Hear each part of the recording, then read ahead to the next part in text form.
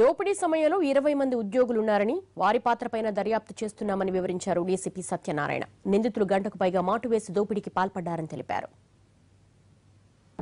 ఒక పది నుంచి పన్నెండు మంది ఈ నితాయ్ అండ్ సాహెబ్ దాస్ అని ఇక్కడ గోల్డ్ మేకింగ్ యూనిట్ పెట్టుకున్నారు వాళ్ళు.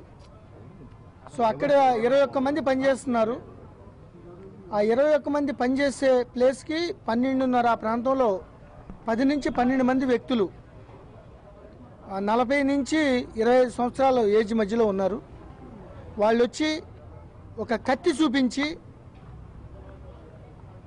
వాళ్ళని బెదిరించి ఒక పక్క తీసుకొచ్చి రెండు మూడు వ్యక్తులకి తాళ్ళతో చేతులు కాళ్ళు కట్టేసి సుమారు ఐదు కేజీలు ఆర్నమెంట్ ఆర్నమెంట్స్ గోల్డ్ అంటే మేకింగ్లో ఉన్న ఐదు కేజీల గోల్డ్ని తీసుకెళ్ళినట్లు ఆ కంప్లైంట్ రావడంతో ఉటా ఉట్టిన law and order police task force and clues టీంలు అందరూ కూడా వచ్చి వెరిఫై చేశారు.